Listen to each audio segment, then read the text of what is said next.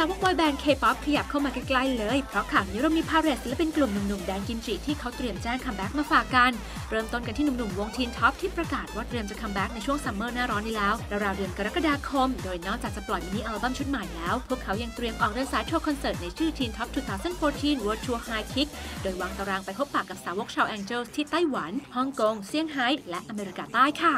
ฟากของหนุ่มๆขวัญใจสาวกชาว Baby อย่าง BAP ที่แม้ตอนนี้จะยังอยู่ในช่วงเดินสายทัวร์คอนเสิร์ตรอบโลกแต่ก็ปล่อยโปสเตอร์เตรียมแจ้ง comeback ออกมาแล้ว โดยจะเป็นซิงเกิลที่ 4 ออกแนวอะคูสติกในชื่อ BAP Unplugged 2014 โดยจะมีเพลงโปรโมทชื่อว่า Where Are You What Are You Doing โดยต้องบอกก่อนเลยว่าจะไม่ใช่เพลงแนวฮิปฮอปทรงพลังแดนซ์ดุดันเหมือนที่ผ่านๆมา แต่จะเป็นเพลงที่มีท่วงทำนอง smooth ฟังง่ายเน้นการร้องประสานและเสียงกีตาร์โปร่งเขาว่ากันว่าอย่างนั้นกำหนด release 3 มิถุนายนนี้ ส่วนสาวก Baby ในไทยหนุ่มๆ BAP มีกำหนดจะเดินทางมาแสดงคอนเสิร์ตเดี่ยวครั้งแรกในบ้านเรากับ BAP Live on Earth 2014 Bangkok Attack ในวันที่28 มิถุนายนนี้ที่ Royal Paragon Hall 2สาค่ะ